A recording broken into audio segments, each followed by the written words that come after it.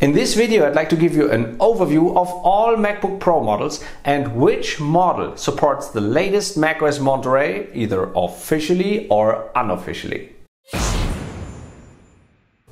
As the first keynote of the WWDC just ended right now, I can bring you brand new information about the macOS 13 Ventura that will be available in fall through all the MacBook Pro models that we're now talking about if they will be still supported when the new macOS will be available.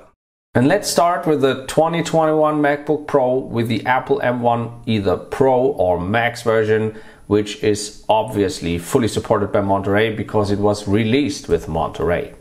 But the same goes with the 2020 MacBook Pro already with an Apple M1 chip.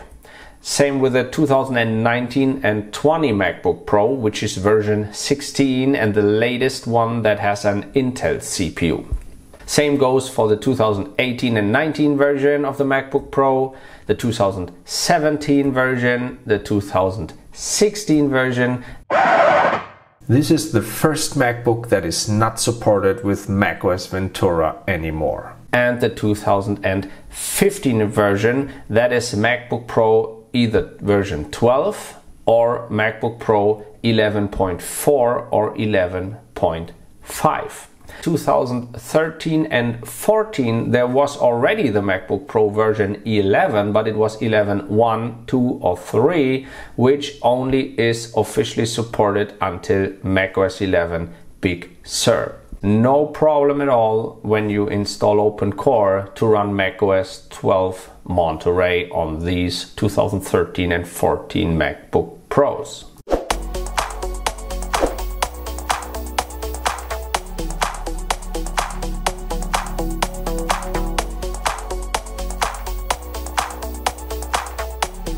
When you go back a little bit to 2012 and 13, these are the MacBook Pros version 9 and 10. They were supported up to macOS 10.15 Catalina, but here's the same. They are fully capable of running macOS 12 Monterey with Open Core. The 2011 MacBook Pro, which is version 8, was only supported up to macOS 10.13 High Sierra. The reason for that is that the Intel HD graphics or the AMD Radeon HD graphic chips are not metal capable. Metal is needed since macOS 10.14 Mojave. Overall, no problem here to install macOS Monterey on the 2011 MacBook Pro.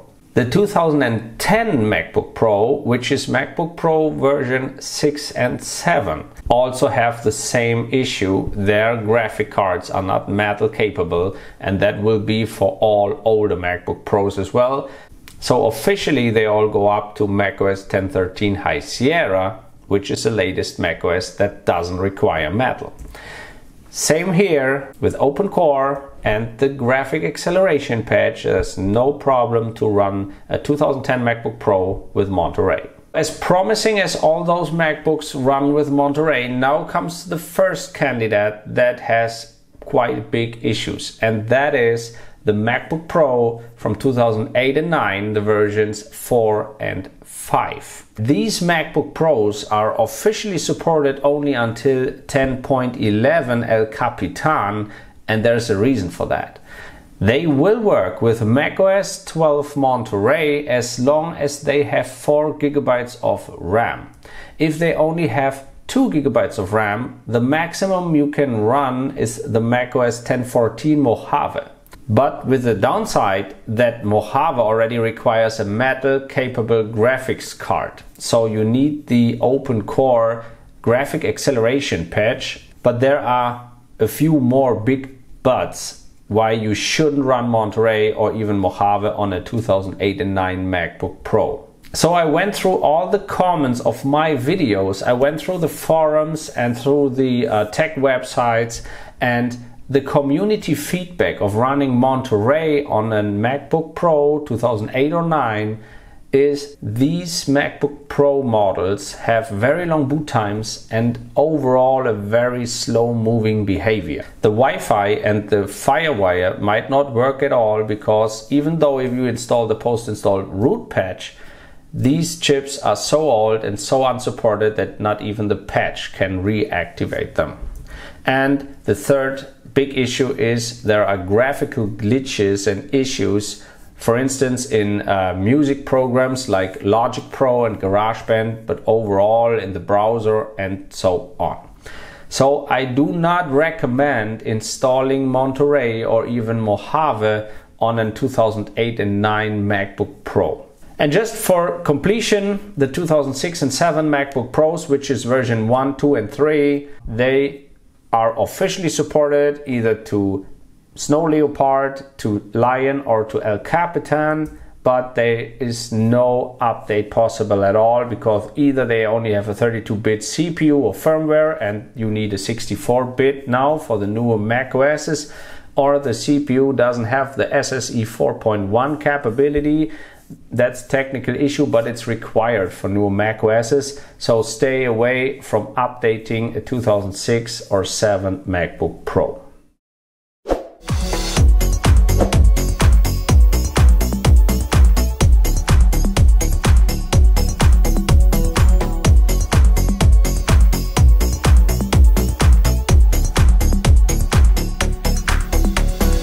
So to wrap everything up, starting with 2010, the MacBook Pro is capable of running macOS Monterey. If you have a 2010 or 11 model, make sure you install the post-install root patch because the graphic chip is not metal capable and you need the patch for that. Starting with 2012 up to 2014, they are officially unsupported, but they run macOS Monterey as a charm and since 2015 they're still fully officially supported.